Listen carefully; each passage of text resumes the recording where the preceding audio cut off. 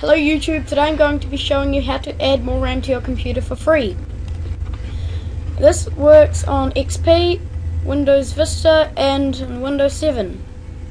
Now what you do first, you go Start, Computer or System Properties or however, whatever way you like it, you can just go Start, right click my computer, go Properties, and you click here Advanced System Settings. Click on that and it'll be automatically it should pop up in advanced. If it didn't, click on advanced.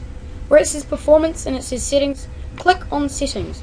And there'll be another tab here advanced, but it would not be on default by default selected.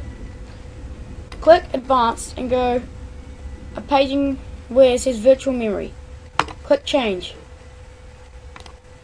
And you if you want to custom customize it, which is what you're here for, you go unclick automatically manage paging file size for all drivers.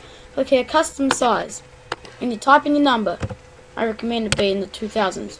Or listen what it says in the bottom. Recommended, currently allocated.